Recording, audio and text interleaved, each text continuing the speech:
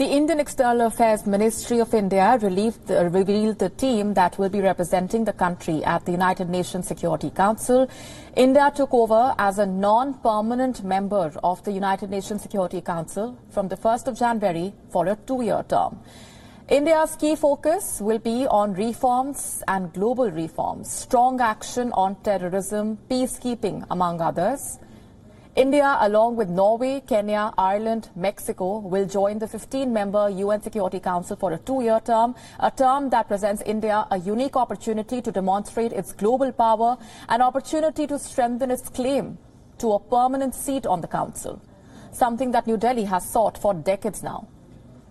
So what will be India's agenda at the high table? What values will guide India's approach? What powers will India have? As a non-permanent member. And how many terms has India served at the UN Security Council previously and when? Let's begin with the history. India has been a non-permanent member of the UN Security Council seven times in the past, 1950 to 51, 1967 to 68, 1972 to 73, 1977 to 78, 1984 to 85, 1991 to 92. And after a 19-year break from 2011 to 2012. What values will India uphold at the UN Security Council? In the words of the External Affairs Minister S. Jaishankar, India's approach will be guided by five S's. Samman, Samvad, Sahyog, Shanti, Samriddhi. That's respect, dialogue, cooperation, peace and prosperity.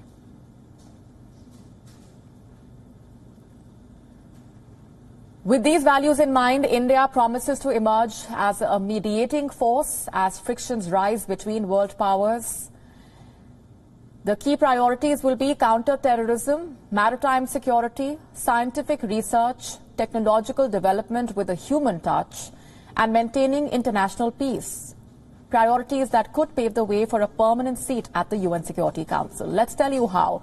India is the fourth highest troop contributing country at the United Nations. A total 6,700 Indian troops are deployed in the UN peacekeeping missions currently. More than 200,000 Indians have served in 49 of the 71 UN peacekeeping missions since 1948. 160 Indians have lost their lives serving under the United Nations flag. In 2007, India became the first country to deploy an all-women contingent to a UN peacekeeping mission. The formed police unit in Liberia provided 24-hour guard duty and conducted night patrolling in the country's most troubled regions. India will seek to leverage its strength to improve peacekeeping efforts around the world.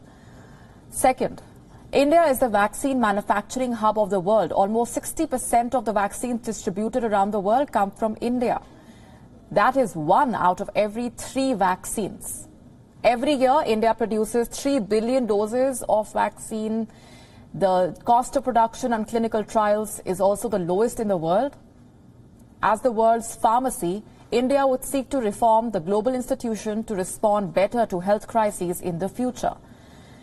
The third reason, and this one is also important, India's clear position on combating international terrorism.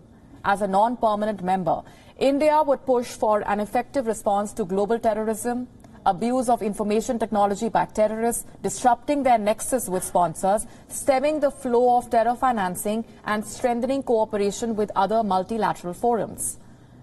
Now, the common perception about non-permanent members at the UNSC is that they are powerless, unlike the permanent members who have the power to veto and more diplomatic influence to achieve their interests. All of this is true, but that does not mean non-permanent members do not have a voice.